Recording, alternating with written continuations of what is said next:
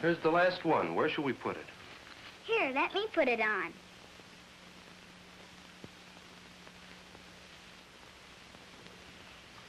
Mommy, don't forget baby Jesus.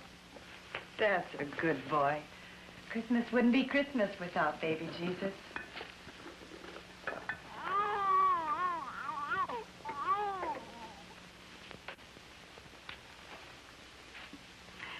You want some attention too, don't you, baby?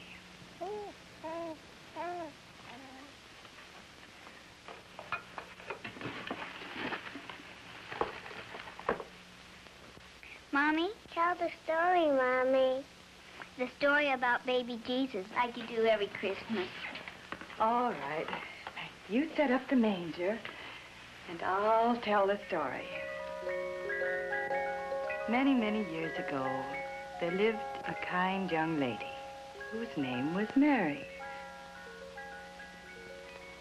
One day, while Mary was busy in her home, she suddenly saw a bright light. And in this light, there stood an angel who said, Mary, don't be afraid. I'm Gabriel. God sent me to tell you that he has chosen you to be the mother of his son. Call him Jesus, for he will be God's son and the savior of all people. Mary said, I don't know how all this can be. The angel said, Mary, God can do everything. Then Mary said, If this is what God wants, I'll be glad to do his will. The angel of the Lord then went to Joseph, who was engaged to Mary. And The angel said, Joseph, take Mary to be your wife. God wants her to be the mother of baby Jesus, and you shall be his father here on earth and take care of him. And Joseph did as the angel told him.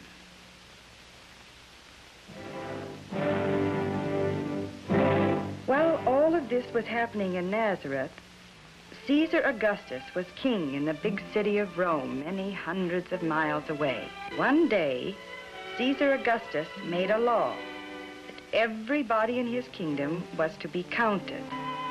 All of the people had to go back to the place where they had been born.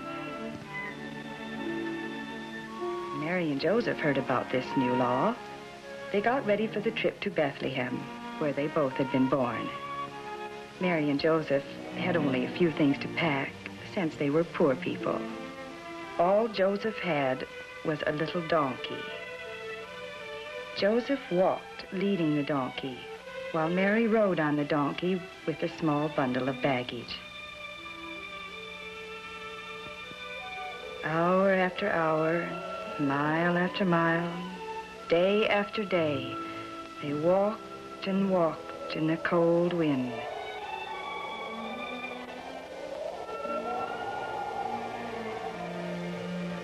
Joseph took very good care of Mary. Many times he stopped along the road to rest and to give Mary a drink of fresh water.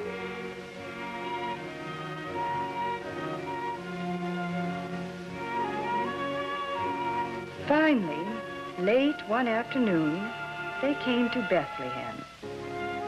When they got to the tax office, they had to wait for all the other people who had come ahead of them to be counted. When Mary and Joseph had finally finished, was getting dark.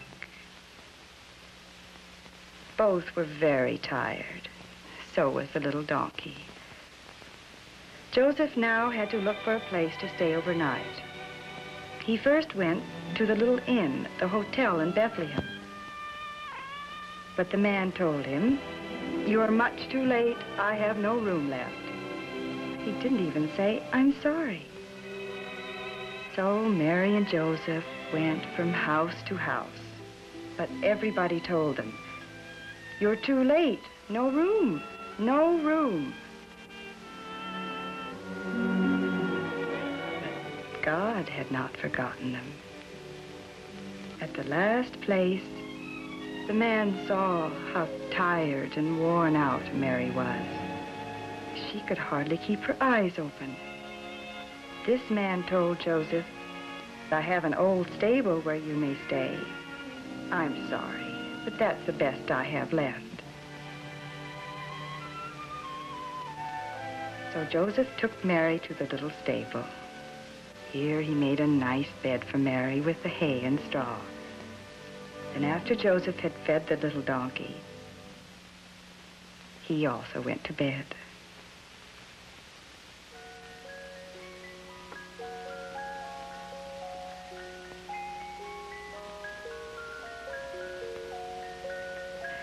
In the fields outside Bethlehem that night, there were some lonely shepherds taking care of their sheep. It was quiet and dark and cold.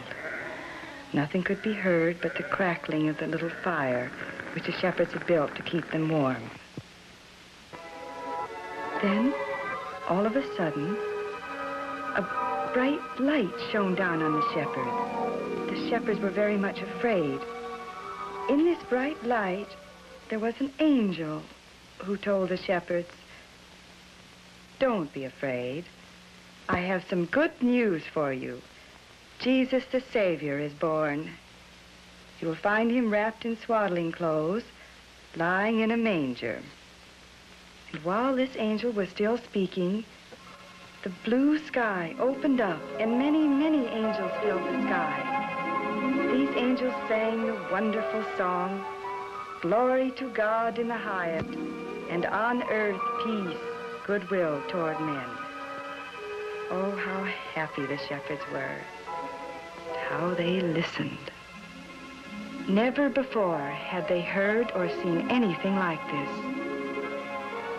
When their song was ended, the angels went back into heaven, and the blue sky closed up, and all was quiet and dark and cold as before. The shepherds were all excited about the good news. They said, let's go right now to see the baby Jesus. So the shepherds hurried to Bethlehem.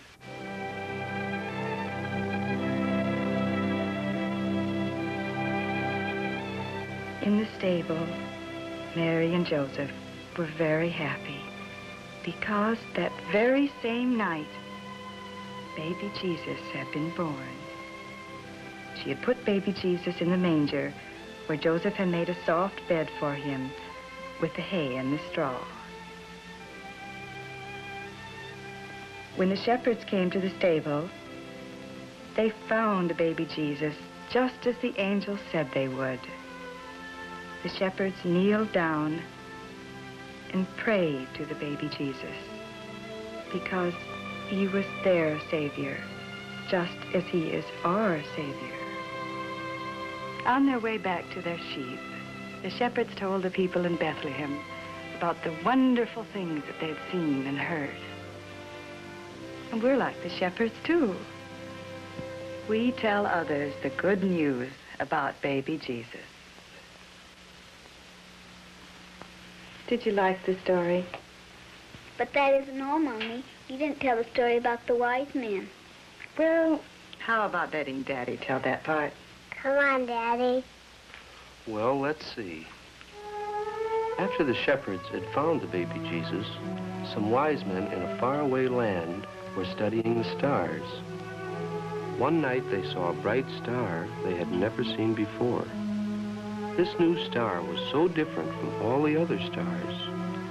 The wise men were certain that it was a special sign that Jesus, King of the Jews, the promised Savior, had been born.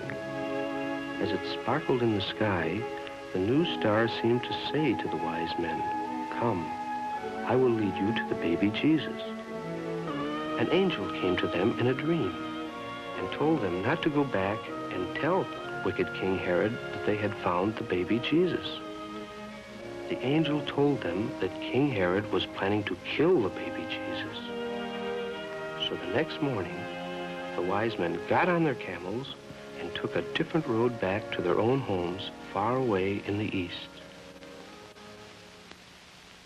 The wise men were like the shepherds.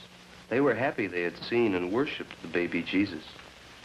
And we're happy with them, too aren't we?